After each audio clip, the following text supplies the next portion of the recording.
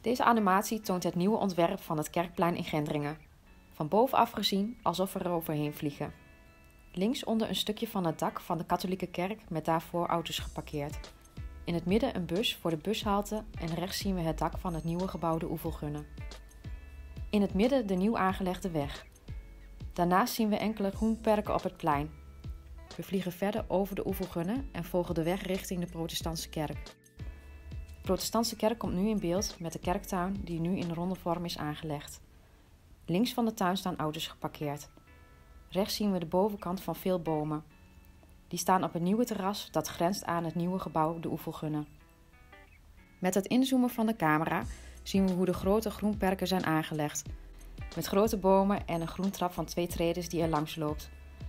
Ten slotte zien we het pad dat leidt naar de ingang van de protestantse kerk.